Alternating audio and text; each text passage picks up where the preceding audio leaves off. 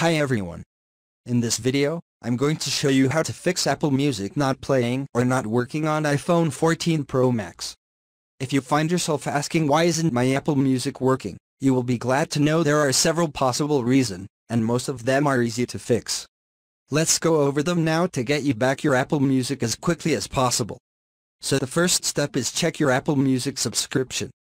The first thing to do when your Apple Music isn't working is to make sure your Apple Music subscription is active.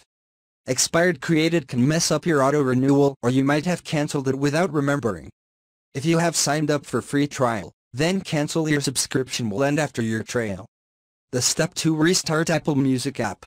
Sometime apps glitches so one of the first thing to try is to restart your app. You can just double press it then just swipe off the app to close it. Then you can relaunch that and check that if your music works. And the step 3 is check your Wi-Fi or network connection. If you haven't downloaded your music, Apple Music won't play it without Wi-Fi or data connection when songs or album are downloaded. Their stream support service or no Wi-Fi could be corporate of why it won't play. And the step 4 is you can delete the app and reinstall. You just hold on to the music app then click on delete app.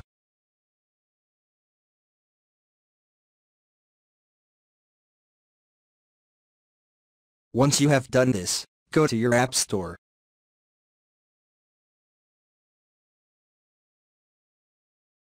And search for Apple Music.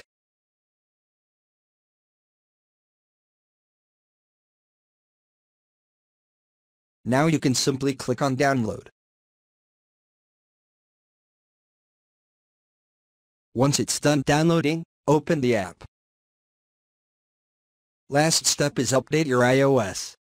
Sometime an outdated iOS can keep apps from functioning correctly. If you are asking why then my Apple Music is working and have to write other steps make sure you update your software.